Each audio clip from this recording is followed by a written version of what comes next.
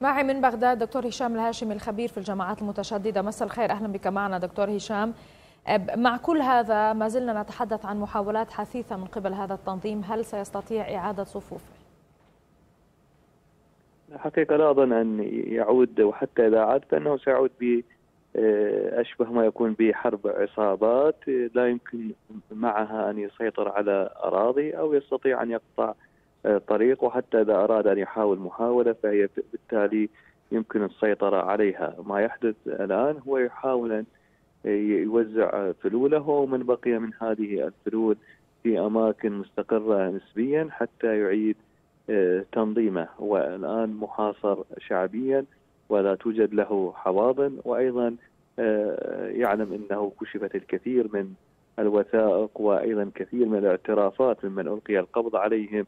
جعلت الكثير من عناصره الذين فروا والذين يعيشون في في في حالة من الصحراء أو في البوادي أو الهضاب مكشوفين لدى القوات الاستخباراتية والمعلوماتية العراقية، بالتالي لا أظن أنه يستطيع إعادة تكوينه كما كان حتى ولو في فترة ما قبل 2014.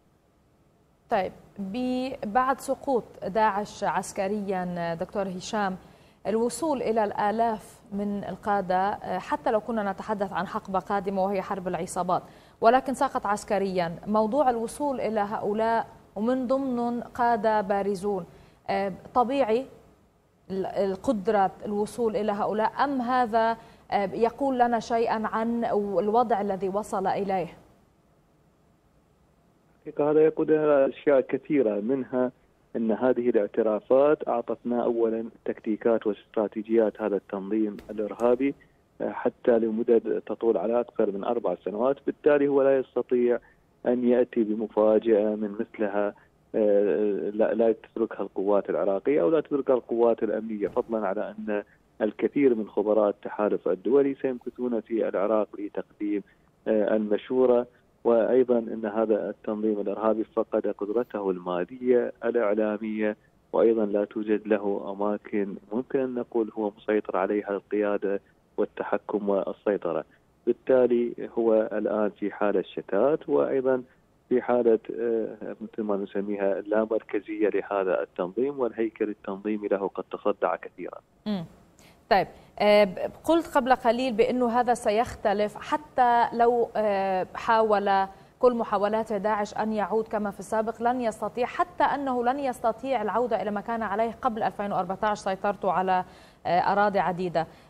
ولكن في المقابل تتفق مع من يقول بأنه سيكون في هذه الفترة أخطر قلت حدثك حرب عصابات وما إلى ذلك أخطر من ذي قبل بالتاكيد هو كالثور المجروح بالتالي يريد الانتقام وإما أن تعطي الحكومات عفوا أو حاله من تخفيف الأحكام لعل الكثير منهم يسلم نفسه كما حدث في معركة الحويجة. أكثر من ألف عنصر من هذا التنظيم الإرهابي قاموا بتسليم أنفسهم لجهاز مكافحة الإرهاب في السليمانيه هكذا وعود موثوق بها من الحكومة. ربما تجعل السجون تمتلئ آلاف من هؤلاء الذين يشعرون الآن بالخوف وهم مهزومين. إذا حصلوا على وعود أن الحكومة تخفف عليهم الأحكام وتقاضيهم بحالة عادلة. أظن سيتسلمون الكثير من أنفسهم. أنا أشكرك من بغداد دكتور هشام الهاشمي الخبير في الجماعات المتشددة.